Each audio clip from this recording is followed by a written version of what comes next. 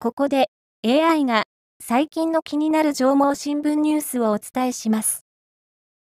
一つ目です。統一地方選で群馬県議選が告示され、18選挙区の定数5例に61人が立候補しました。旧選挙区の15人が無投票で当選しました。残る旧選挙区の46人は選挙戦に突入しており、4月9日に投開票されます。二つ目です。JR 新越線の北高崎駅と群馬八幡駅の間に新駅ができることになりました。2026年度の開業を目指しています。三つ目です。富岡市の群馬サファリパークで昨年12月に生まれたチーターの子供4頭の公開が始まりました。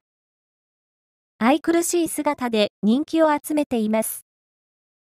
以上、詳しくは縄文新聞をご覧ください。AI は成長中なので、いい、間違いなどはお許しください。